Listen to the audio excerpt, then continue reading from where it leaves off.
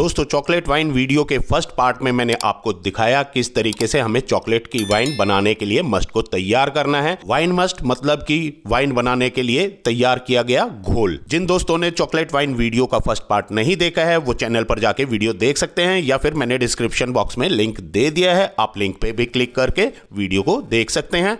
चलो दोस्तों, अब आगे का प्रोसेस भी देख लेते हैं। दोस्तों वाइन मस्ट को फर्मेंट होते हुए सात दिन हो चुके हैं। आज आठवां दिन है। आज मैं इसे छान लूँगा। कुछ कोको पाउडर इकट्ठा होकर ऊपर कतलियों के रूप में इकट्ठा हो गया है। उसे छान कर अलग कर देना है। छानने के लिए मैं एक कपड़े का इस्तेमाल करूँगा। कोई भी सूती कपड़ा ले लीजिए या आप छलनी का भी इस्तेमाल कर सकते हैं। बारीक छलनी ले लीजिए, उससे भी छान सकते हैं। वाइन मस्ट को दूसरे कंटेनर में निचोड़ते हुए, कपड़े को अच्छे से निचोड़ते हुए मैंने अच्छे से छान लिया है। अब हमें ज़्यादा कुछ नहीं करना कंटेनर को दोबारा से एक बार मैं एयर टाइट कर दूँगा और फर्मेंटेशन के लिए रख दूँगा। दो दिन बाद देखूँगा चॉकलेट की वजह से अगर झाग आए चॉकलेट की वाइन में अक्सर ऊपर की तरफ़ झाग आ जाते हैं, कोई प्रॉब्लम वाली बात नहीं, कोई इन्फेक्शन नहीं है वो। वो चॉकलेट की वजह से झाग आते हैं, अगर ऐसा हुआ तो उसे दोबारा से एक बार मैं छानूँगा और दोबारा से फर्मेंटेशन होने के लिए फिर से रख दूँगा। कंटेनर के ऊपर क्लिंग फ़िल्म लगा दी है, ऊपर, साथ में ही ऊपर से रबड़ बैंड भी लगा दिया है ताकि एयर टाइट बना रहे कंटेनर अब कुछ दिन बाद इसमें फर्मेंटेशन अपने आप ही रुक जाएगी और वाइन क्लीन होनी चालू हो जाएगी। तो दोस्तों, मिलते हैं कुछ दिन के बाद।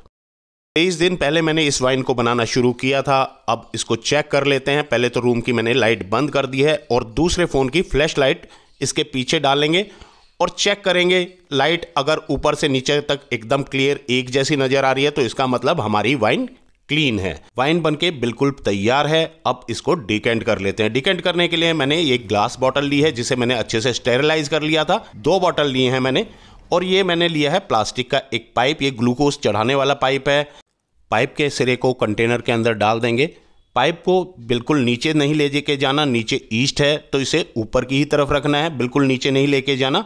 बीच में रखोगे तो भी कोई दिक्कत नहीं। हाँ मतलब ईस्ट को टच ना करे पाइप। उसे ऊपर ऊपर रखना है, और हमें दूसरे सिरे पे कोई भी स्टेरिलाइज कपड़ा लगा लेना है, उसे अपनी तरफ़ खींचेंगे मुँह से। जिस तरीके से पेट्रोल निकालते हैं, बाइक से या स्कूटर की टैंकी से, उसी तरीके से अपने मुँह की तरफ़, अंदर की तरफ़ खींचेंगे तो वाइन पाइप के माध्यम से आनी शुरू हो जाएगी। हमें उसे बॉटल में ले लेना है।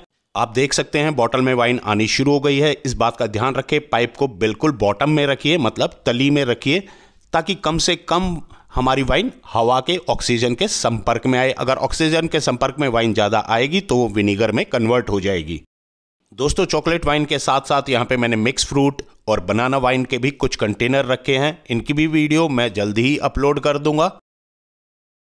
आप चाहें तो सारी वाइन को एक ही बार में डिकेंट कर सकते हैं। मैंने दो बॉटल वाइन यहाँ पे ले ली है कंटेनर से। अब चलो इसे टेस्ट कर लेते हैं। वाइन हमारी बिल्कुल क्लीन बनी है, बिल्कुल पारदर्शी है आर पार बिल्कुल क्लियर नज़र आ रहा है। तो चलो दोस्तों, अब इसे टेस्ट कर लेता हूँ और आपको इसके बारे में बताता हूँ।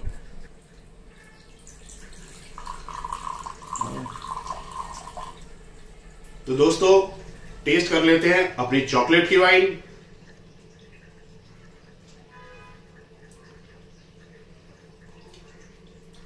थोड़ी सी स्ट्रांग मेरे को लग रही है, पर अच्छी बनी है अपनी वाइन।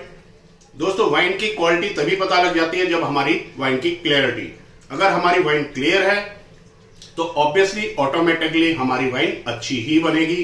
दोस्तों, यूँ ही बने रहिए मेरे साथ और बनाते रहिए वाइन और एंजॉय करते रहिए। मिलते हैं अगली वीडियो में, तब तक के लिए जय हिंद, जय भारत।